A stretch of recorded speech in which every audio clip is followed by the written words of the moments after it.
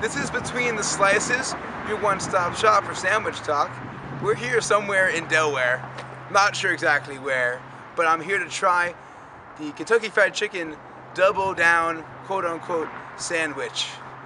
I'm very afraid uh, about this sandwich because it defies everything I believe in about sandwiches. Uh, first rule of sandwich, bread. This does not have that. So I'm very concerned. What it is is apparently two slices of breaded chicken and between those are melted cheese and bacon. So it, it sounds terrifying, but I'm here for you guys, you know, to try it out. What can I get you? Can I have the double down? It's gonna take six minutes to cook. Uh, all right, that's that's fine by me.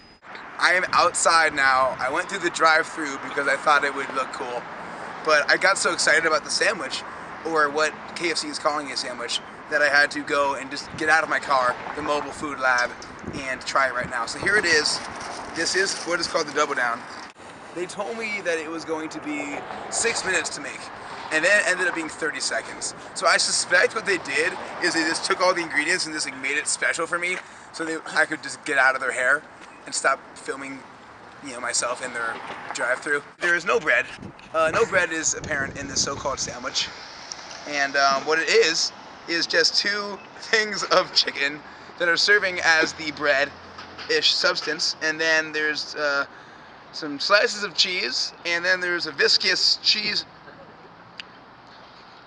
I don't know if that's cheese or if that's like ranch dressing or something. It's like a cheese ranch dressing combination, and then there's some bacon that looks like it's been sitting around for a while. Here we go.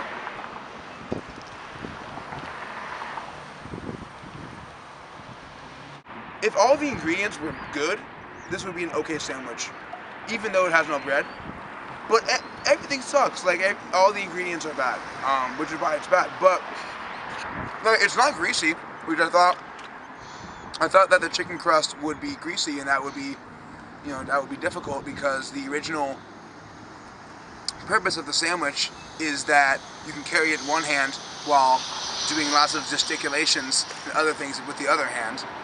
And so, on that level, it does it does not fail. It, it, it's a success, but where it does fail is that like this weird viscous cheese-like substance, along with the uh, slices of like chemically enhanced American white cheese and the pithy strips of bacon. Those are all the bad things about it. If like another chain made this with superior ingredients, you know, maybe it would be more edible and maybe not the worst thing in the world. The whole concept is obviously ridiculous and it's a marketing gimmick, and so I want to say that, but you know, they could have made a marketing gimmick that tasted a little bit better than this. This is this is a sad day for sandwich, I think.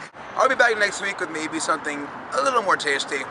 Until then, stay hungry, Jumbos. Stay healthy. Don't eat this.